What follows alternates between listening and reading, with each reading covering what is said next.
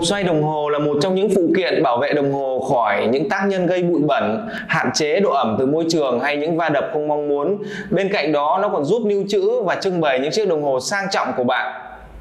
Hộp xoay đồng hồ có chu kỳ nạp xả năng lượng tự động giúp cho đồng hồ luôn chạy kể cả khi chiếc đồng hồ không được sử dụng. Chế độ nạp cót tự động sẽ giúp cho đồng hồ luôn tràn đầy năng lượng, tránh hiện tượng sai số, chạy lệch giờ. Do đó, anh chị em không phải bỏ thời gian lấy lại giờ khi không sử dụng trong một thời gian dài. Đầu tiên về ngoại hình thì chiếc hộp xoay được làm từ chất liệu gỗ acrylic hay còn gọi là gỗ bóng gương kết hợp với kính trong suốt rất sang trọng. Chiếc hộp xoay có xuất xứ từ hãng Tempus là một hãng nổi tiếng của châu Âu nên không phải bàn về chất lượng.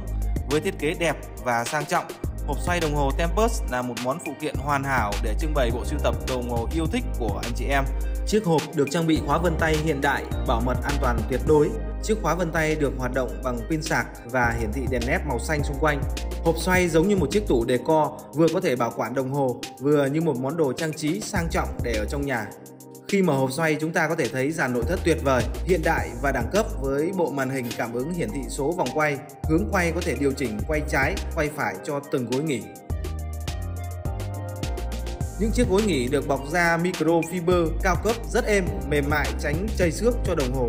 Nó có một cơ chế khớp giúp giữ chặt chiếc đồng hồ vào gối nghỉ nhưng vẫn có thể dễ dàng lấy ra.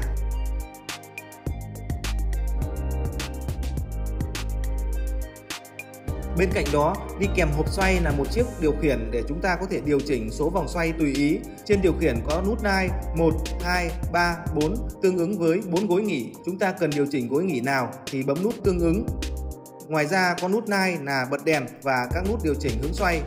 Phía sau của hộp xoay là nút nguồn để bật tắt và một nút rotation. Nếu bật nút này thì khi mở cửa các gối nghỉ sẽ dừng lại Hộp xoay đồng hồ Tempus vừa là một món phụ kiện hiện đại giúp bảo quản và trưng bày đồng hồ của anh chị em một cách sành điệu, an toàn và tiện lợi. Với thiết kế đẹp và tính ứng dụng cao, hộp xoay đồng hồ Tempus chắc chắn sẽ trở thành một phần thiết yếu trong bộ sưu tập của bất kỳ người đam mê đồng hồ nào.